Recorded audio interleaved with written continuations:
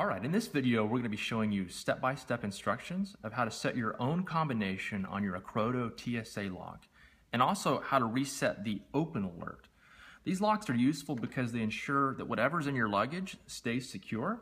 They're very sturdy, very heavy duty, uh, all steel construction, and you can feel the quality just in how heavy they feel in your hand.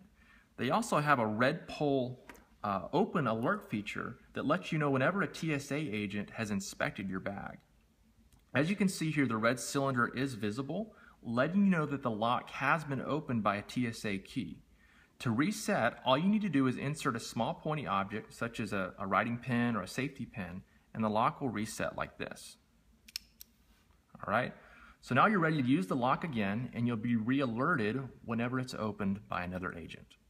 Okay, now I'm going to show you how to set your own combination on the Acrodo TSA lock.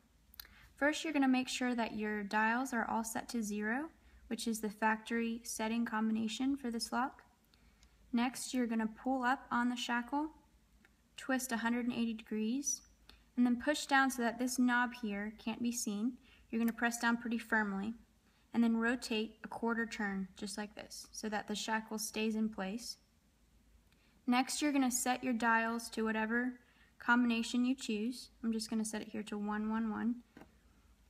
You're going to move the shackle back all the way to the left and pull up. And then swivel back and that's your new combination. You're ready to go.